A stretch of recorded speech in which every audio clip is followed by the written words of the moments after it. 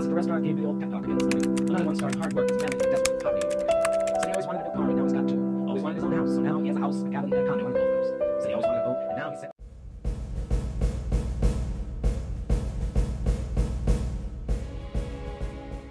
Erfüllt vom Heiligen Geist verließ Jesus die Jordan-Gegend. Darauf führte ihn der Geist 40 Tage lang in der Wüste umher, und dabei wurde Jesus vom Teufel in Versuchung geführt. Die ganze Zeit über aß er nichts. Als aber die 40 Tage vorüber waren, hatte er Hunger. Da sagte der Teufel zu ihm, Wenn du Gottes Sohn bist, so befiehl diesem Stein zu Brot zu werden. Jesus antwortete ihm, In der Schrift heißt es, der Mensch lebt nicht nur von Brot.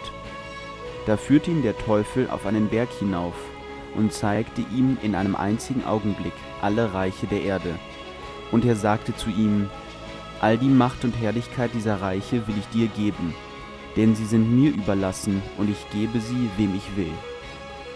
Wenn du dich vor mir niederwirfst und mich anbetest, wird dir alles gehören.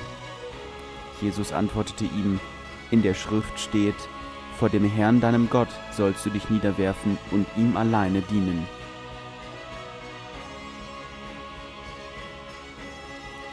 Darauf führte ihn der Teufel nach Jerusalem, stellte ihn oben auf den Tempel und sagte zu ihm, Wenn du Gottes Sohn bist, so stürz dich von hier herab.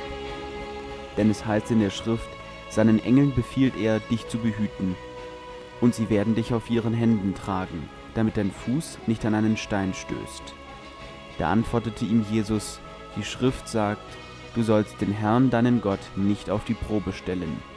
Nach diesen Versuchungen ließ der Teufel für eine gewisse Zeit von ihm ab.